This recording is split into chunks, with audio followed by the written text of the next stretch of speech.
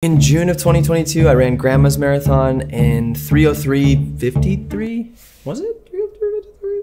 Just do an asterisk if it's something different on the side. Shortly after that, I got back on the horse through the summer into the fall to run Chicago in October, where I finally broke the three hour barrier, and I've been chasing that for like five years. So, how did I PR two times in the marathon this year? I want to break that down today and go over my training schedule for the beginning parts of 2023. I've been trying to go after a sub 3 marathon for about 5 years now. The first 2 years in 2017, 2018, I had no idea what I was doing. I relied on my natural athleticism thinking that sure, I could run under 7 minutes a mile. Why wouldn't I be able to do that for 26.2?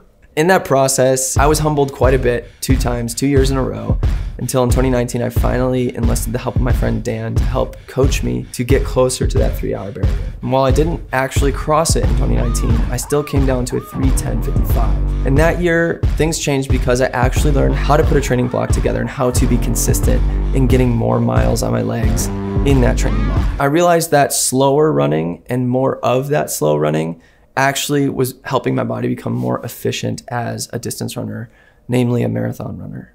A lot of people in my Chicago Marathon video asked, how'd you go from a 350 to a 310? And that was it. It was understanding how the marathon works. It was about marathon training. It was about volume on my legs, lower heart rate in the process, and on race day about nutrition, electrolytes, carbs, and all that stuff on race day. I'll talk more about that stuff in the future, but today I really want to talk about what I'm building for 2023 and the training block that I'm preparing for myself leading up to a marathon on April 8th in Carmel, Indiana. Surprise, I'm running Carmel Marathon in Indiana, April 8th. Through a quick Google search on uh, marathons to run in the spring in the Midwest has popped up, and a lot of people recommend it for being super flat and a place where they say on their website over 22% of their finishers qualify for Boston. I don't know, it feels like a really good spring race for me and something um, that I can do that's fairly local. I've already signed up for a half marathon in May, the same one I ran this past May with a bunch of friends out in the suburbs of Chicago. I really want to go after these two goals really hard, but first the marathon in April.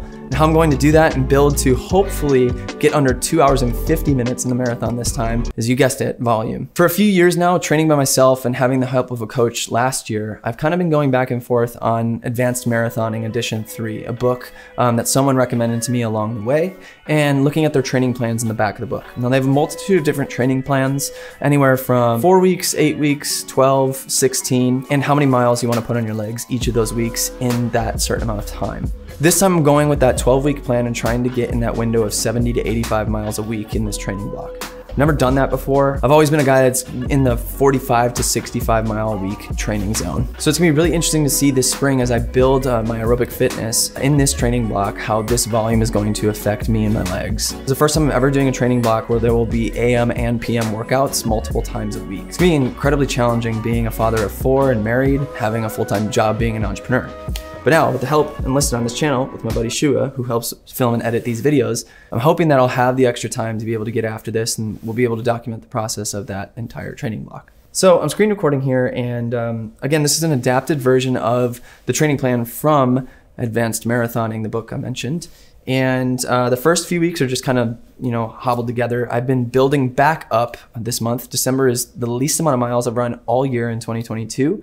Um, just kind of took some time off, enjoyed the holidays, but very quickly got out of shape, put on more weight, haven't been eating well. It's time to get back on the horse and get back into this. Been slowly building back up mileage and getting myself back into a place where I can start approaching 40, 50, 60, and up to 70 mile weeks. Every week I've been adding five to 10 miles and uh, in the hopes that at week 12 out from the marathon, I can get a 55 mile week and start working my way up to 87. So if we have a look here in this column, this is how many miles a week I plan on running. So this last week of December, I'm gonna put in 32 miles. I'm eight miles in right now, um, so I have 24 left between a couple recovery runs and another medium long run of 10 miles on the weekend. And as you can see, the weeks go by, I'm gonna be ramping up about 10 to 15 miles every week. From 32 this week to 45 next, 55 the next after that, and then I'm in the advanced marathoning training block. 66 miles, up over 70 to 72, 75, 77, and then peaking out at 84 to 87, and subsequently over 80 a few weeks after that, and tapering down to 70, 54, and 36 on race week. I can't tell you how excited I am to try this. Uh, I think it's gonna be incredibly difficult. I don't think I'm gonna hit my mileage every single week, just knowing who I am and how busy I am and how chaotic my life can be but I want that to be the target to see how I can handle it. We're working on a video right now that talks about how I ran 300 miles in one month back in 2020 doing a whole really cool video about that. But I've never really gone over 70 miles a week since that time. And I remember at that time, that was some of the best shape I have ever been in. Knowing that I have the experience that I have now, the miles on my legs over the years, and uh, just the intuition I have as a runner, and the knowledge and wisdom I've gained over the past five years, I'm really excited to see what high mileage like this does to me and how ready I'm going to be to attack sub 250 come April 8th. So you'll notice in a lot of these weeks, there are multiple recovery runs, usually three spread throughout the week, with Sunday being the first one, Wednesday being the next one, and Friday being the last one most of the time. And in that, there's sprinkled in medium long runs and long runs on the weekend. So a lot of the medium long runs go from anywhere from 12 to 15 miles, and the long runs getting up to 17, 18, 20, and my longest being 22 on week five. You'll notice that on pretty much every week in this training block, there's only one hard workout, either labeled as LT for lactate threshold or VO2 max workout. Those are two different styles of workouts and different intensities.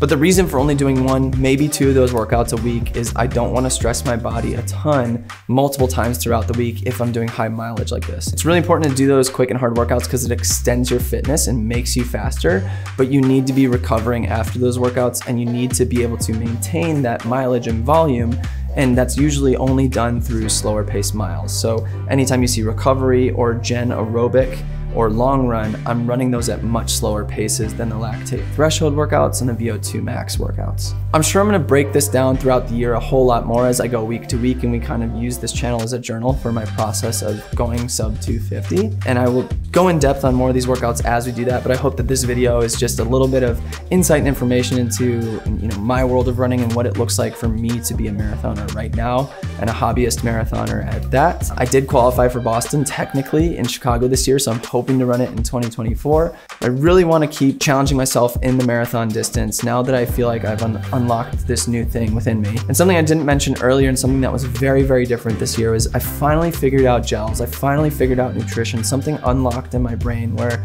I always knew about the wall. I always knew about at mile 18 to 22, everybody runs out of gas and they fall apart. But that's because if you're not putting enough calories into your body throughout the race, you're going to hit that wall because you need to be replacing that glycogen that you're burning in your body. And fast carbs are the best way to get that glycogen in your body to burn in the middle of a marathon. You burn 100 calories every mile you run, so it makes sense that at 20 miles, uh, you're burning out because your body can only hold 2,000 of those calories at a time.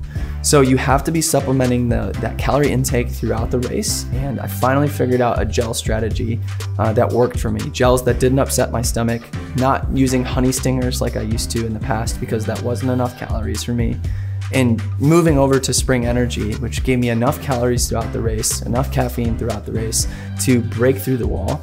Um, I still had an upset stomach and threw up at 23, but it got me through and got me under three hours. So I'm gonna continue to use that strategy this year with Spring Energy, continuing to put enough calories in my body on the marathon race, and hopefully we're gonna go sub 250 this year. Hope this was helpful or fun or whatever. If it was, leave a like, subscribe, all that good stuff, and I'll catch you next time for runs. See you.